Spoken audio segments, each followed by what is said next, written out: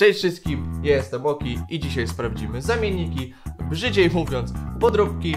Kiedyś mam wrażenie, że te produkty nie cieszyły się zbyt dobrą opinią ze względu na ich odbiegającą jakość. Dlatego mam wrażenie, że to się zmieniło przez kilka lat, że produkty te stały się lepsze i nie sprawdzimy produktów najtańszych, ale o najbardziej zbliżonym ze sobą składzie.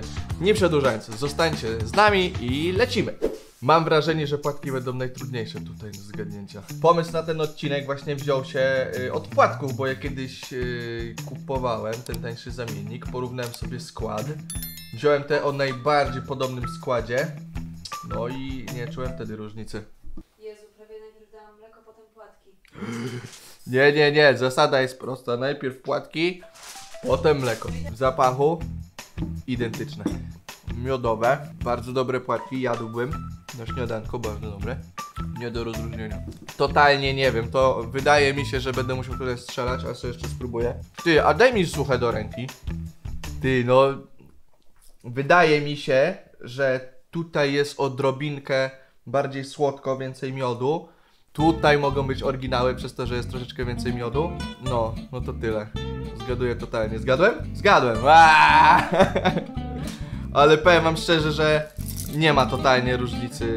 Porównałem sobie skład tych płatków, który jest identyczny, dlatego też nie rozpoznałem. Mają taką samą zawartość kukurydzy, orzeszki ziemne 8,2%, a tutaj było 7,5. Kurczę, no pół procenta to jest naprawdę, czy tam 0,7 yy, nie do wyczucia. Co ciekawe, może są nie do rozróżnienia, ale oczywiście cena jest różna, więc to zobaczymy. Jeżeli chodzi o ceny, które są naprawdę od siebie różne, bardzo różne, to już Wam śpieszę z odpowiedzią. Te płatki kosztowały 9,89, a te kosztowały, zgadnijcie ile? 3 zł, ale są o połowę mniejsze, więc 6 zł tak naprawdę. E, nie, bo będziecie mieli za 6 zł pół kilo, a tutaj 450 gram. No to myślę, że wybór jest tylko jeden. Świetne płateczki. Dobra robota. Oszą. O, mam wrażenie, że po dźwięku chyba tu będą rogaliki. Ciekawe, czy rozpoznam Seven Daysa, bo w sumie tylko jadłem Seven Daysy w życiu. Jadłaś jakieś inne firmy? Jeszcze te, Chipikao, bo tam były naklejki z tego, z Naruto, nie? Mam nadzieję, że rozpoznam. To jest Seven Days. To jest Chipikao. Identyczne. Ciekawe, czy to jest inna firma w ogóle. Dobre. No już czuję po zapachu, że to nie jest to, co kojarzę. Ty, ale tu jest cięższe o wiele bardziej, takie bardziej napakowane. Ale dużo jest sosu w tym. Czek to się nazywa nadzienia. Dobre. Ale te, to nadzienie, mimo że jest go o wiele więcej, no to wiadomo, to jest Seven Days, nie?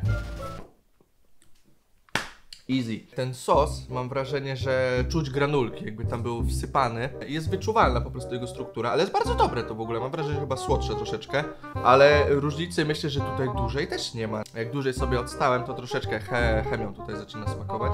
Ja bym jednak poszedł stary, dobry klasyk. Dobra, wszystko jasne. Tu jest margaryna i rafinowane tłuszcze, a tu jest zwykły olej roślinny. I to stąd chyba jest ten taki dziwny, y, gorzki smak, nie? Tutaj taki chemiczny i to chyba stąd... Nie, no tu jak są takie rzeczy, to ja bym to w ogóle anulował. Jeżeli chodzi o 7 Daysa, to mamy 3 zł, jeżeli chodzi o podróbkę, to jest złoty 99, powiedzmy 2 zł.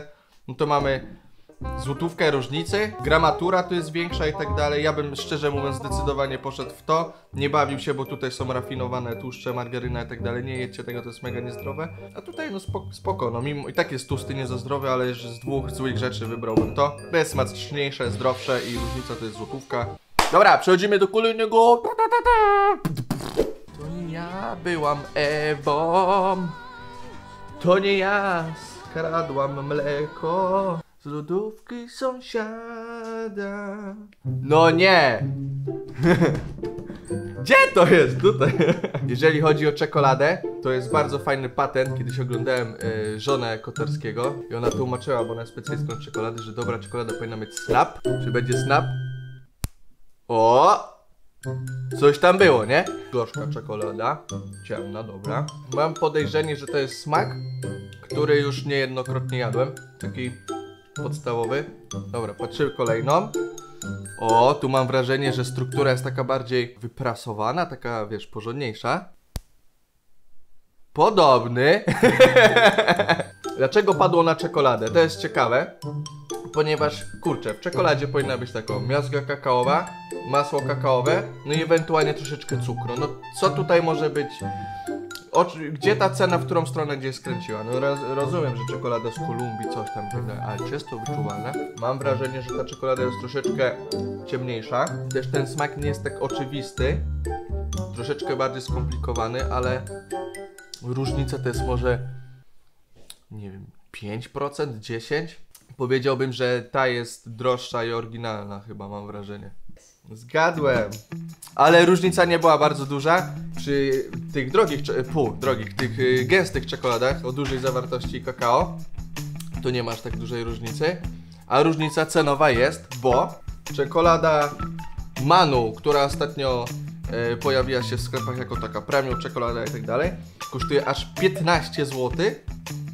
Zaś powiedzmy podróbka czy zamiennik kosztuje 5,39.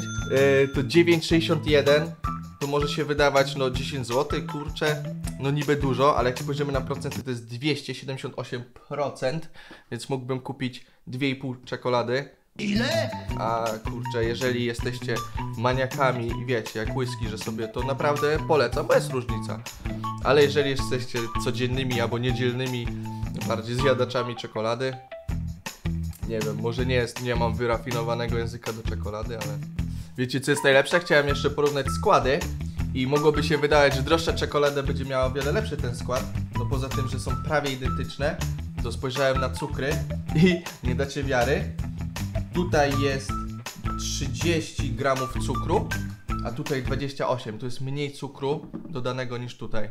Może dlatego to troszeczkę lepiej smakowało, bo jest lepszej jakości kakao, ale też cukier jest. Dobra moi kochani, no to mamy tutaj do czynienia oczywiście z puszką, już czuję po aromacie, że to są, to są energetyki. Chciałem kupić na początku Red Bulla, ale mówię, kurczę, Red Bull jest tak popularnym smakiem, tak go znam, tak jest niepowtarzalny, że na 100% go rozpoznam, więc kupię Tigera, nie? I mówię, Tigera sobie kupię i wezmę najtańszy ten zamiennik. Biorę ten zamiennik, a mówię, ej, no te zamienniki strasznie były zawsze słodkie, nie? Nigdy nie brałem Rockstara, bo był najsłodszy, dlatego mówię, kurczę, jak jest najsłodszy, wezmę Rockstara i tego tajnego, ale żeby nie było Red Bulla, dobra, to wezmę wszystkie. No i są wszystkie. Po puszce raczej nie rozpoznam, chociaż jakbym miał zgadywać, to jest chyba Red Bull. Ładny zapach, nic nie odrzuca, bardzo kwiatowy. Red Bull. nie? Nie do pomylenia jest Red Bull, nie z innym. A, cię zgadzam. Jest idealnie, normalnie taki kwiatowy i ta y, kwaśność jego jest też idealnie zrównoważona. Ja bardzo lubię kwaśne rzeczy. No, ide, idealny. Niebanalne, twórcze, kreatywne, artystyczne. Kompletny kosmos. Chyba tani zamiennik albo Rockstar, bo nie kojarzę w ogóle tych smaków. O kurde. Ale różny. Totalnie inny jest. W smaku yy, bardziej wodny, ale też taki kwaskowy, ale mniej słodki. Może w tą stronę, może to jest ten najtańszy? To jest chyba najtańszy. To nie ma zapachu w ogóle. ale ja, ja. Bez smaku i potem troszeczkę takiego słodko słodko-cytrusowe. Nie mam pojęcia co to jest. To na, na pewno nie jest Black. Rockstar najtańszy Red Bull. Notowa puszka, Tiger. Tam Black, Black. To jest taki, w zapachu od razu jest taki gorzkawy, taki typowy energol, nie taki, żeby walnąć sobie bateryjkę do przodu. Lekko proszkowy. To jest chyba Black mi się wydaje. Mega nie. Co? Ja pierdzielę, ale mnie strollowałaś. Czekajcie. Żeby nie było, to nie jest, to jest totalny przypadek, ale od dzisiaj będę nosił. nie? Dostałem to na konkursie totalnie, więc nie jest sponsorowane i tak dalej. Ty! Ole jazda! Ole mnie rozbiło. Ja pierdyle. I teraz jest rozkmina, które kupować. Czy najtańsze, bo jest najbliżej Red Bulla i mówiłem, że takie dobre. Mhm. Czy ten, który najbardziej mi smakował. No i trzeba przez to zobaczyć, jaka jest różnica w cenach, więc dlatego podam wam różne ceny, jak to wygląda. Red Bull 5,48. Potem mamy Rockstar 2,88 był najlepszy. Potem mamy cenowo Black albo Black złoty 98.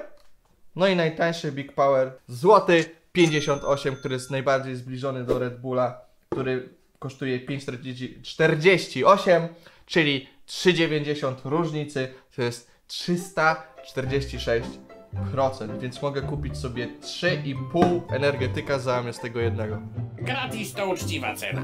A, jeszcze jedna rzecz, właśnie, bo tak jak powiedziałem, ten cukier, nie? Yy, kiedyś było tak, że one były przefaszerowane cukrem. Tak nie jest, bo 5,6 grama na 100 gramów.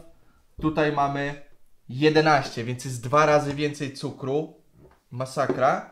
10 masakra. 12 masakra. To ten jest najbliżej zbliżony do Red Bulla, ma na, najmniej cukru, ty. Niebywałe. No dobra, no to tym szokującym końcówką, moi drodzy, żegnam się z wami. Bardzo dziękuję. Dajcie znać w komentarzach, czy spodziewaliście się takich wyników. Ja totalnie się nie spodziewałem. No może, może poza płatkami, z których jak wspomniałem wziął się pomysł na odcinek. Dobra, nie przedłużając, żegnam się z wami. Nie zapomnijcie zostawić lajka, suba oraz dzwoneczek. No i co? Na razie. Ty, ale genialny. Weź włącz kamerę. Jak chcesz to se... A, no dobra. Weź se spróbuj, nie? To? No i powiedz szczerze. Jest taki pełny smak, nie? Taki kwiatowy i w ogóle taki skomplikowany. Jest faktycznie dziwny, ale nie powiedziałam to. Tak? Znaczy, Mi się Red Bull zawsze kojarzył taki, wiesz, pełny, fajny, kwaskowy, a kupi mnie za to, że jest taki kwaskowy.